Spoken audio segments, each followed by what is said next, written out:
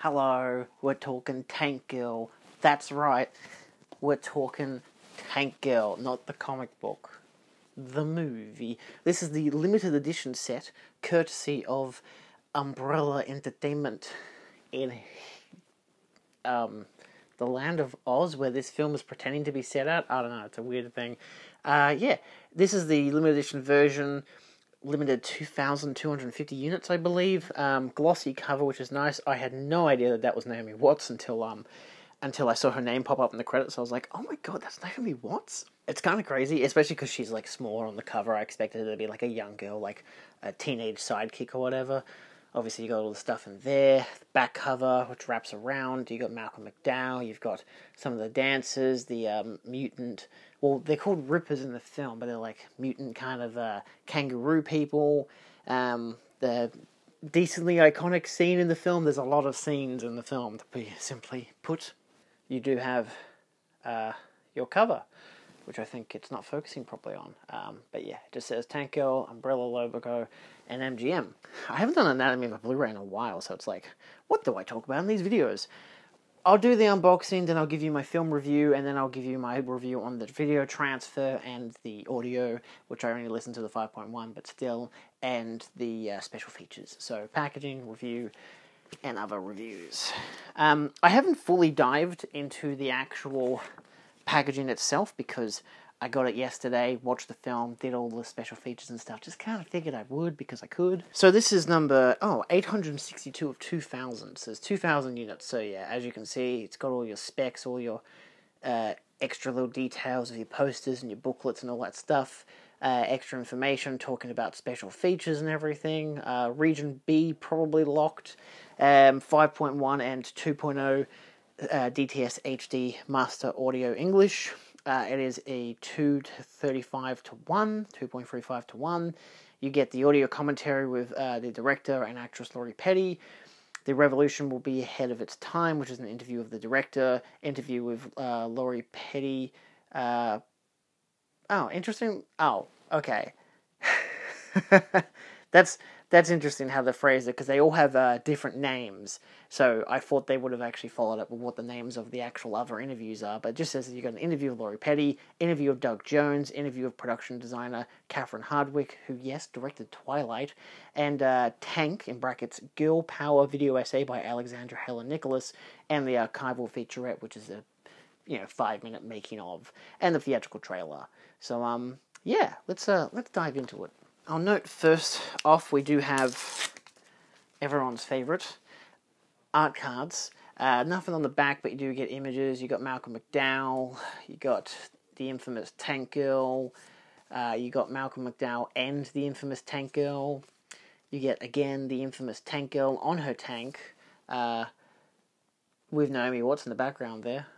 There's, there's, Naomi Watts. It's a Jet Girl is her name because she has a jet. It's a very um innocent picture. Uh, that is a kangaroo man and and a tank girl with her um, robot uh, with her sorry rocket uh, bra. I'll put it. I'll say bra just just in case, just in case. And then there's another scene of them. Where's where's that at? That that's towards the end of the film during the big breakout scene. And uh, yeah, wow, that's a pretty fun picture of Tank Girl prior to getting her tank right at the start of the film. And um, then you get another picture of two characters. Again, you get Tank Girl there. I think that's Jet Girl. She has a scene where she does have uh, clear pants. It's a it's a very costume heavy film, and then we get back to the start. So I'll, I'll leave a Tank Girl as the main picture there. You get a booklet which comes with the original poster, Tank plus Girl. Uh, it is a you know stretching out photo kind of deal as it is nothing too fancy, but still nice. Uh, firm book, I think it's like 32, I'm going to guess around 32 pages. What does it say? Uh, 48 page booklet with introduction by the director, Rachel Talalay. Talalay? Uh, yeah, I think it's Talalay.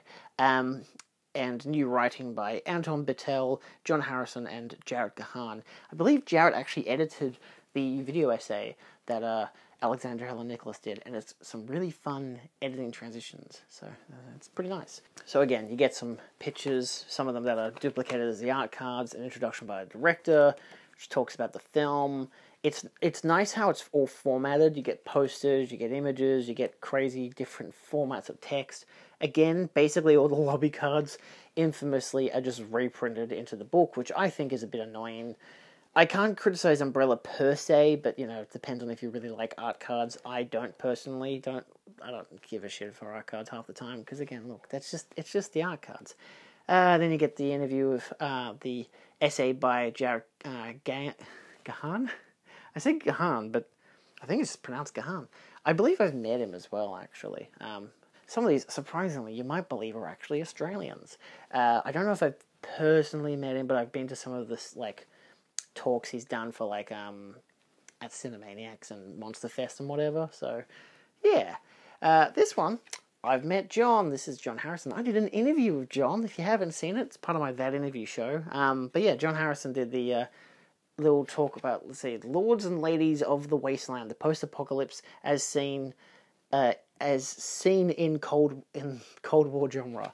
Um, yeah, I love the landscape element, but the in a folded book like this, it's not really my favorite. I don't really like books that are bound like this. But again, each section has its own color palette, and yeah, so yeah. I mean, look, as an overall, it's a nice book. It works well. It's a little bit too bound for like expressing the artwork per se, but um, it is what it is. Then you have the film itself, which comes with a sleeve. This is also what the basic standard edition comes with. Uh, I do like the whole. Um, what am I thinking of? I, you know, that guy who did the canned soup posters. That's what this kind of has the vibe of, which is nice. I don't know why he's not. You know, when someone's face comes to mind, but not their actual name. Yeah, that guy. You know who he is. But uh, that's the kind of approach this artwork is going for and I like it. It's, I dig it. None of this really appears in the film. She only like wears his hat and goggles in like the opening scene, which is kind of funny. But also, she wears so many clothes in this movie. There are so many costume changes. There's one whole scene which is just a costume change where she goes from one costume to another to another to another, all within one take. It's a it's a hell of a picture. Um, yeah, then you get your standard artwork, which is the theatrical poster, the reversible, just comes with the M-rated logo, and there is, of course, a poster, double sided, which I'll get out as well. But again, you get your disc, uh, and then it just re emphasizes like special features and all the extra details about the film and all that jazz. It's a pretty simple, standard kind of bundle. You get the poster, which is double sided. You get both the theatrical as a was it A4 sheet which isn't too bad. It's pretty fun. And then you get a landscape of what the box set artwork is, which uh, is pretty good as well. I do like this artwork. It's nothing too flashy, but I do like its style. Yeah, it works well for the case, I think. So, boy, okay, that's that's the whole set, which I think is a pretty good set. I'm I don't always like to buy the limited editions from Umbrella, but they do commit to the bit. They do have some great sets, which I do appreciate. This one's not their most extravagant. It's pretty basic in terms of the booklet and the poster and the art cards and all that kind of stuff. You get the same from Arrow Video and whatnot, but I like it. I like the colors. I like how they really go over the top of like this is all the kind of crazy looks and stuff that the film has had in its like marketing and stuff. We're just going to recapture that plus some new artwork. I don't know. Is it new artwork? Custom artwork Outer Ridge slipcase by David Loopy Dave Dunstan. So it is new artwork, which is really nice. What can I say about the film? I gave it three stars out of five. I enjoyed it. It's one of those things of like when you know a film is bad or like notoriously awful when you go into it, sometimes you can have a better perspective. I think the same goes for something like Super Mario Bros., you know, that 1992 film, which I've reappreciated after my second watch. I was like, actually, it's a pretty fun movie. Sure, it's not the best in terms of its source material or whatever, but watching it as it is, it's still a pretty fun film, and I even did get the Umbrella limited edition Trust the Fungus set. Yeah, dedication's a hell of a word. But the film itself for Tank Girl, I did like.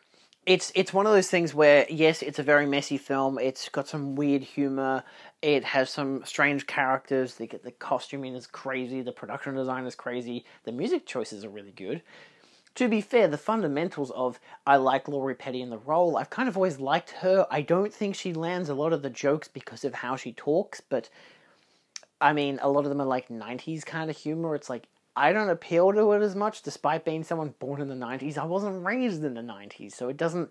It's a very uh, different contrast for me personally. It's like watching Austin Powers sometimes. It's like sometimes you just get the joke, sometimes you don't. But that one's a lot more for the masses kind of deal. It's very different to Tank Girl.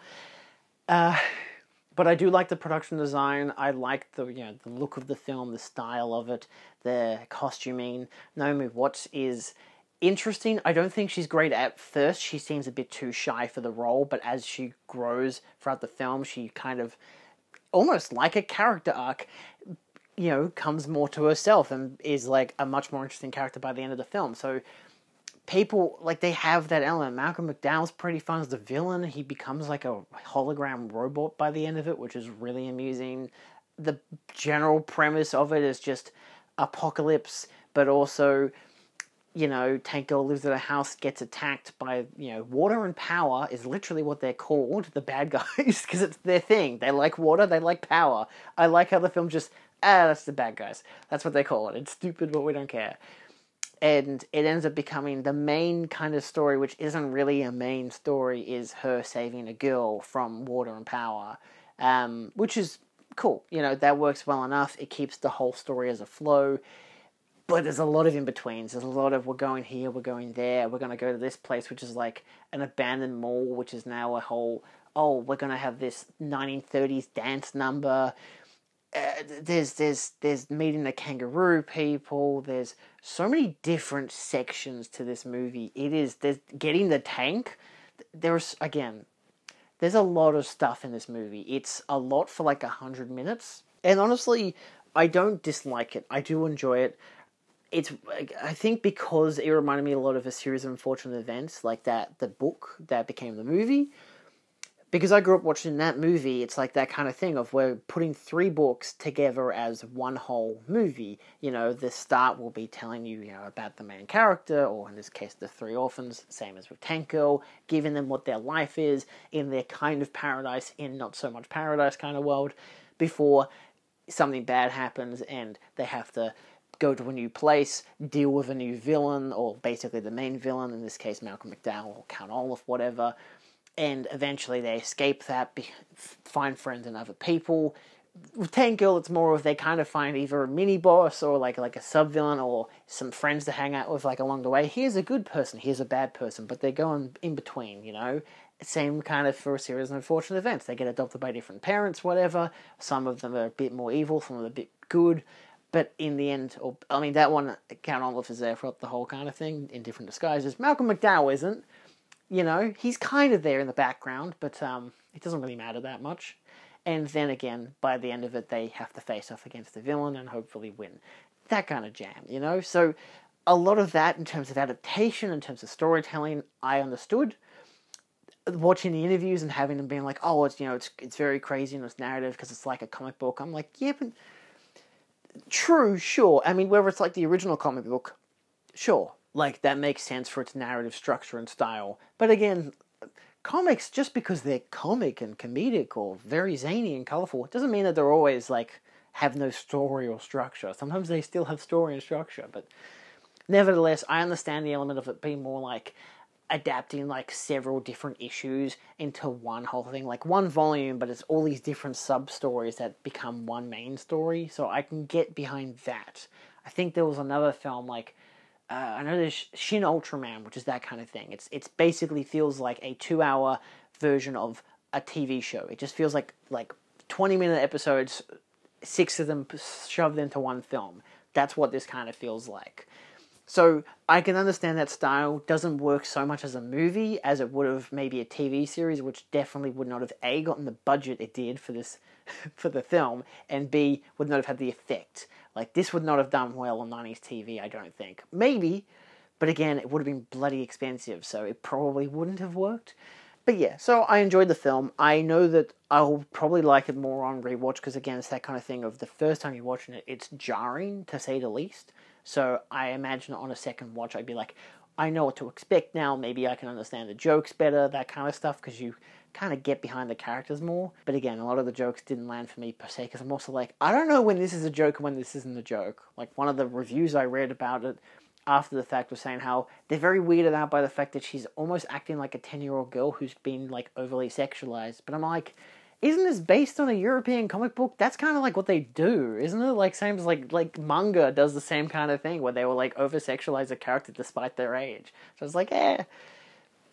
But it is what it is. Like you're in the apocalypse. What you're gonna act like a rational person? You kidding me? Have you seen Mad Max? Those people don't act rational. It's just it's just hunger and lust and power. It's, it's crazy, you know. So it, it kind of works. Like I dig it. Audio wise, I listened to the 5.1 and it sounded good from the get go. It starts off with a cover of a Devo song, which I was like, I like this already. I didn't have any issues with it. There was no like strange sounds or crackling or hissing. The, the you know, it's it sounded good. I could understand what they were saying. I could hear the music. I could hear the sound effects. There was nothing too dramatic. So yeah, it was a good, decent enough mix. I had no issues with it. I didn't check out the stereo mix, but I was pretty happy with the 5.1. Picture wise, yeah, for the most part, it looked really nice. I think there was only one scene near the end where it kind of there was a bit of dirt and specks and stuff, just kind of randomly. But the rest of the film looked clean. It looked really nice. So looked healthy. So I was really happy with it. And it cuts between like comic book stuff and animated sequences and live action stuff. So even that blends really well. Um, it yeah, just in general looks really nice, and I was really happy with it. Uh, it probably could have done like maybe a remaster wouldn't exactly be the worst thing in the world, but at the same time, I'm happy enough with the version that you get. Special feature wise, there is the audio commentary, which I didn't get around to listening to. I don't know if it's a new audio commentary or if it's a like one that came with maybe an original DVD or something, so I don't know about that one. But I did watch all the uh, interviews, which there is one with the director. They are actually all titled as well, but the um, sheet I have here doesn't actually doesn't actually tell me the names. It just says. I mean, even even this just says interview of Lori Petty, interview of Doug Jones, interview of the production designer, and interview. Okay, there's a lot of weird stuff. The back of this doesn't actually tell you it has an interview with the director, but then this does have a says that it has an interview with the director, but it actually tells you what the name of it is. So, um, some weird. so someone someone fucked up in the graphic design department for this set. Like even if you look at that, I don't know if you can tell. Uh, so yeah, interview of the director. There should be a dot there before interview of Lori Petty, as there is a dot there and a you know a dot over here and whatever. But there's nothing, nothing that divides the uh, director's name with the next word, which is interview. So yeah, it's a bit bit, bit weird. Um, I I don't mind, but it's like, you know, like I'm not gonna be like I want to buy this set just for an interview with the director. It has one. Interview with the director is pretty fun. They're all like 15 to 20 minute long interviews, which cover like people's experiences, the production stuff like that. The one with the director is probably the most interesting, but I don't think any of them weren't. I was happy to watch it. It was informative. It was nicely produced. It wasn't too fancy, easy, simple. Just sitting down, listen and talk for about 10, 20, 50, you know, 10, 20 minutes or whatever, talking about the movie. Um, and it's interesting, you know, having them talk about like what the film as a cult status and whatever, that kind of approach. It's interesting watching Rachel talk about this stuff because I've seen a lot of her TV work with like Doctor Who and stuff. So she's directed some of the best Doctor Who of like the past like 10 to 15 years and yet she also did fucking Tank Girl and Freddy's Dead of all films. It's like, man, she did some weird bloody movies when she did movie films. So movie films when she directed movies. Um, but nevertheless, nice interview. The interview with uh, Lori Petty was pretty fun as well. Um, same goes for the interview of Doug Jones, which you think Doug Jones is in this film, and yeah, he's one of the kangaroo people. I like how they show which one he is. He talks about the makeup and all that kind of stuff, and having to get into how this film like because he was working with Stan Winston and even like Ice T was there. There's a weird cast in this movie, and talking about how like because of doing this kind of costuming and whatever, it led him to do a job with Stan Winston's company, which led him to do this and that, and hence people know him because you know of these characters and creatures he's done because he was so good at it the first time around. So it's an interesting like stepping stone film. Like they're even talking about it was either the director or Lori. They both talked about Naomi Watts at different stages and how she was as an earlier actress and whatever compared to what she is now. So it's disappointing that she isn't on the set at all. But I mean, you get a pretty good handful of like people interviewed, which I like, as well as the uh, production designer who is Catherine Hardwicke, who directed Bloody Twilight. And that's another interesting one where, you know, she was talking about how she did this and that, how they moved from this set to that set because of like legal restrictions, all this kind of stuff. So th- there's enough that gives you some ideas as to how they made the film. It's never too in depth, but it's enough that's like, oh, it's nice for 15 to 20 minutes of listening to each person talk about their experiences in the making of the film and reception it's gotten and you know cult status and stuff and whatever. So eh, there's there's elements of that but most of it's focused on the actual making of rather than post the fact. Um, so that's nice enough you know. Um, the uh, tank girl power or girl power video essay by alexandra Heller-Nicholas was really nice um, it doesn't talk a lot about tank girl which is bizarre it's like a 8 10 minute long video um, pretty standard length realistically. It's nicely edited. I will give it that. Uh, Alexandra's nice. She's coherent. I can understand what she's saying. Her what she's talking about is really interesting, especially for someone like me who it doesn't. I'm not hugely aware of a lot of like 90s feminism, especially like you know they're talking about like like the um.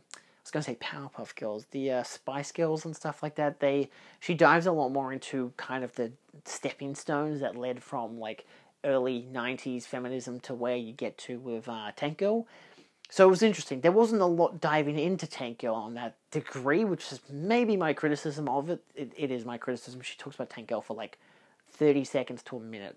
But at the same time, as a history lesson to give you the context of how they got to here in terms of that, it's actually really nice. So it's like I learned a lot by this video essay that I didn't know, and I was like, that's cool. Like it's not exactly stuff I didn't want to learn. I'm like, hey, that's cool. I've never really put in the time and effort to actually learn about it. So yeah, I don't know. It was, it was nice. It was it was a nice retrospective on um, feminism of the time. So that's uh, really interesting. Um, and again, nicely edited, nicely written.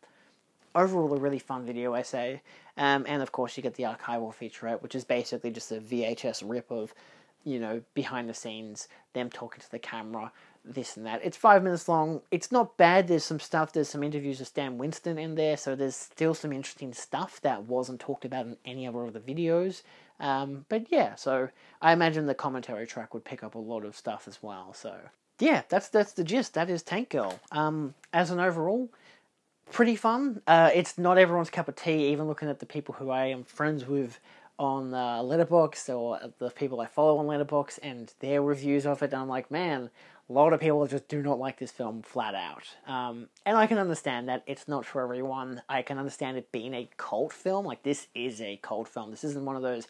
It's, it's Fight Club. It's a cult film. It's like no, no. This is a film that bombed and that nobody liked, and that those who do like it are the reason why this set exists. Much like Super Mario Bros. from 1992. Like, you know those are cult films. This is a cult film. It's an underground cult bloody comic book adapted into a Hollywood picture, and it's weird to say the least. But I thought it was fun. Uh, I'd like to revisit it. It's again the production design and the costuming and Lori Petty really save it.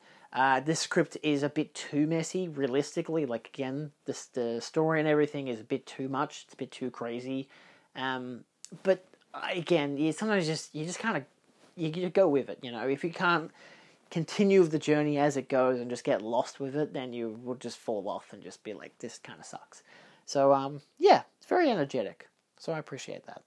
Anyway, let me know your thoughts down below. Um, I'll hopefully get around to reading some of those uh, essays as well, especially John's, but uh, Jarrett's as well, and so forth. So, yeah, I know. It's a cute little book. I like it. It's a nice set. I'm very happy I got it. It did take an extra week to get here, um, but it came like I got it like the day after it was released as a limited edition set, which is quite cool. So because the standard release came out like a week prior, uh, which is fine. It is what it is. It's been shipped. It's delivered, and I appreciate it. So yeah, awesome. Well, um, you can go check it out. I think it's still on their website. Uh, I'll link it down below, and uh, if not, just get the standard edition. Um, and that's all. Thanks for watching. See you guys next time. Adios.